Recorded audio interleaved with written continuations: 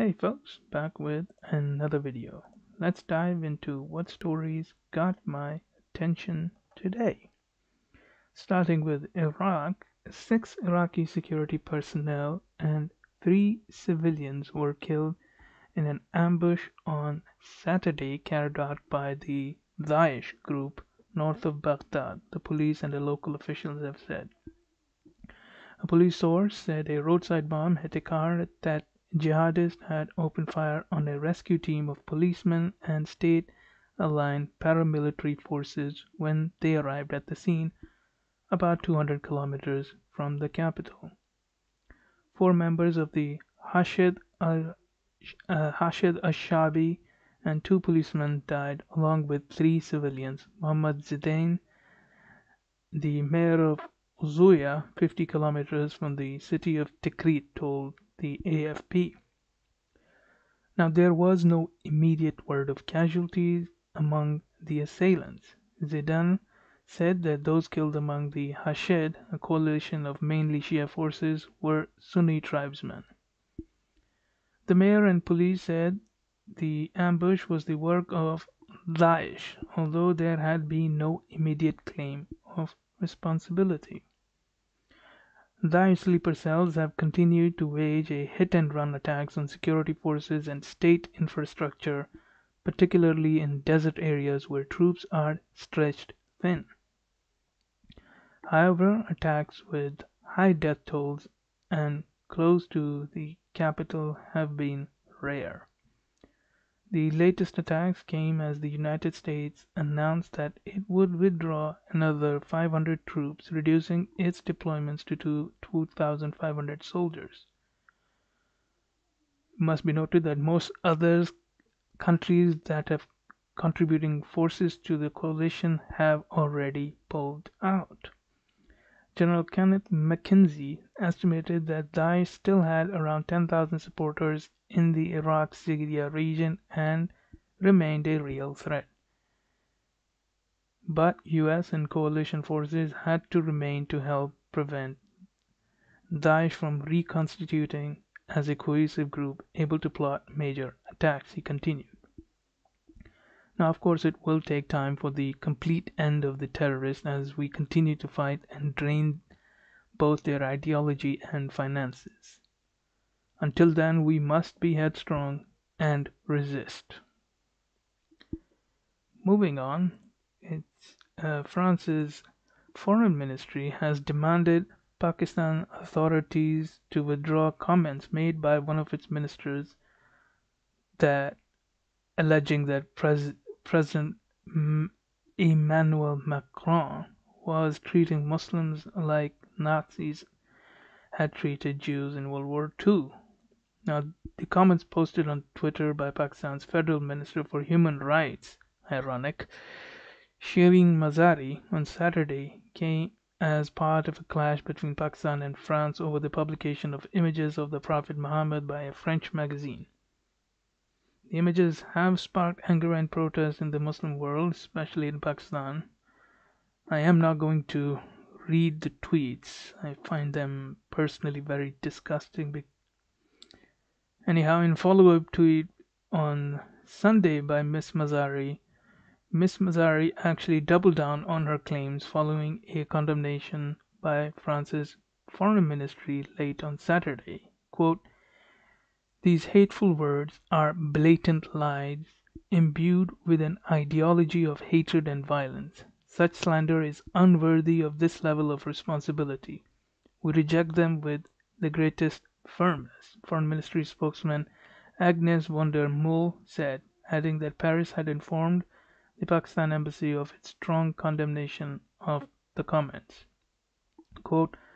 Pakistan must rectify these remarks and return to the path of a dialogue based on respect. Now,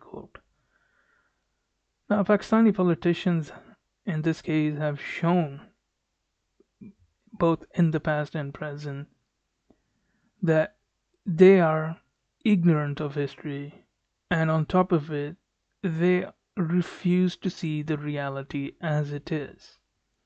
I mean, poli- delusional politicians are a curse for any nation, but the Muslim nations they have an oversupply of these kinds of politicians.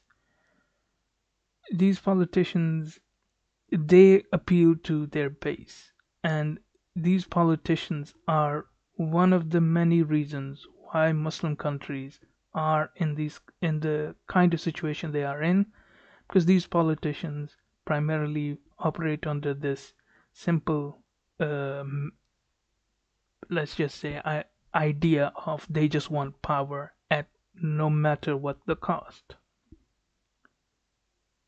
anyhow moving on early december it seems is going to be a very interesting time for Indonesia. It's going to test there is a potential of the a conflict, let's just say, between President Joko Widodo's government and the Islamic militants, who have been emboldened by the return uh, return of their exiled radical Islamic Defender Front leader Rizieq Shihab who who has been lashing out and basically threatening a so-called quote unquote moral revolution. Now Widodo has the Indonesian armed forces the TNI firmly on his side with Jakarta regional commander Major General Dudung Abdul Rahman threatening to dissolve the FP, FPI, the Islamic Defenders Front, if it continues to cause trouble. Quote, Don't ever go against the TNI. He said. And quote, This is an order. Don't forget it. End quote. Quite, uh, he continued to uh, basically be even more harsh in his tone and very, let's just say, how he was very resolute and firm. A member of Jakarta's ethnic Arab Betawi community, Shihab is a, is a Saudi Arabia educated Kiai or a religious teacher who also claims to be a Habib or a descendant of the Prophet Muhammad. Now, events are likely to come to a head on early December, specifically December 2nd, the anniversary of the mass demonstration organized by the conservative 212 movement that led to the downfall of the Chinese Christian Jakarta governor Basuki Ahok Purnama, a video, let me try that again, a Widodo ally in 2016. Now, police have refused to issue a permit for the, for the protest and all other mass gatherings, citing concerns over the spread of the virus. Abdurrahman said he had instructed the tearing down of posters repeating Shihab's threat of quote unquote moral revolution and said he had also ordered he also ordered stepped up mobile patrols around the FPI Tanah Abang headquarters to guard against quote unquote unwanted incidents. I will clean everything up, he said. Quote, there will be no banners calling for people to commit revolution. Don't think that he, Shihab, represents all Muslims. Not at all. There are many other Muslims who are good. Now the violence from FPI is the sharp spearhead of the 212 coalition, which has said it will only conform with the ban on mass gathering if the government postpones nationwide regional elections scheduled for December 9. Now I am going to I'm going to continue to look into Indonesia and cover any news that I believe is important in this matter. From what I gathered, I I think there will be at the minimum I, I do believe there is enough to to warrant that there will be some mm, conflict, let's just say, in early next month. Moving on into Thailand, it seems a new twist in the Thailand protest and against the, Thai king may actually come from in Germany. The German the German parliament has said that Thailand's king Maha Vajiralongkorn enjoys diplomatic immunity during his extended stays in his Bavarian villa, but the state does have the power to expel him from the country. Now, according to an assessment by the Bundestag's academic services and commissioned by the Socialist Left Party, the German state has very little power to prosecute the Thai king, despite recent threats by Foreign Minister Heiko Maas. Maas had previously warned Vajiralongkorn against ruling his country from Germany amid ongoing protest against what critics say is the king's undemocratic rule in Thailand. More than 50 people were injured in demonstrations in Bangkok this week alone, something that I have been uh, covering from time to time. Quote, we have made clear that policies that affect the country Thailand are not to be carried out from German soil, end quote, Ma said in early October. Now the king, the Thai king had returned to Thailand in October, but the Left Party has called on the German government to ban him from re-entering Germany. Anyone who, like the king, brutally suppresses a democratic movement with a military junta should not be rewarded with a visa for luxury extended stays in Germany. Left Party parliamentarians Sevim Dagdelen and Heike Hansel said in a joint statement. Earlier in November, the German Foreign Ministry said it found no evidence that the king was issuing decrees from Bavaria that were violating human rights though opposition politicians found this less than credible considering the length of the king's stay in Germany. Now, I believe that Germany has got itself in a situation where their ideals and following the rules may have come to a some kind of a loggerhead, and this may be their way of trying to spook the monarch into voluntarily leave leave the country. Again, uh, I will continue to let's just say look into their news and see how it progresses and then if there's anything interesting I will cover it.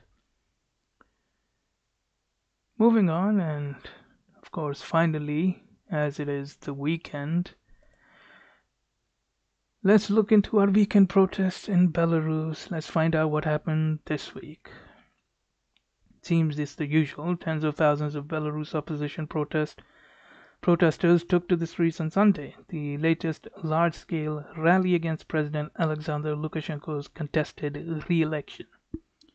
Now, around 70 demonstrators were arrested by the police, according to Viasna Center for the Defense of Human Rights. Belarusian opposition leader Svetlana Tikhanovskaya, who has claimed victory in the, in the election and is now in exile in Lithuania, called Sunday's protest a step towards free and fair Belarus. In a message of support for protesters posted on Saturday. Now, before the demonstrations, a dozen metro stations were closed and the mobile network was experiencing cuts, according to an AFP journalist. About 5,000 people had gathered in the Belarus capital Friday for the funeral of an opposition activist who died from brain trauma after being arrested by police. Since the start of the protest, thousands of people have been arrested and at least four have died and dozens, uh, and dozens of others have denounced torture and violence during their detention. Of course, there are many questions, and one of them in my mind is, and one of the questions that I have in my mind is, like, how long can these protests survive the winter? I mean, so far they have been resilient. I'm just wondering, will the winter, which is increasingly, which is basically as we approach December, it's obviously going to get much colder. Will the December winter be able to break the resolve of the protester? Of course, there is also the question with the thousands of people arrested, how much of that, how much of the arrest is fueling the protest versus how much of it is deterring potential protesters from joining the protest? Suppose the answer to these questions will be answered in the coming time. But I don't know, maybe months, maybe years. Anyway, that that's it for this video. If you like the video, then hit that like button and hit that subscribe button for future updates. Write in the comment sections your thoughts, criticism, and anything I might have missed. And I will see you in the next video.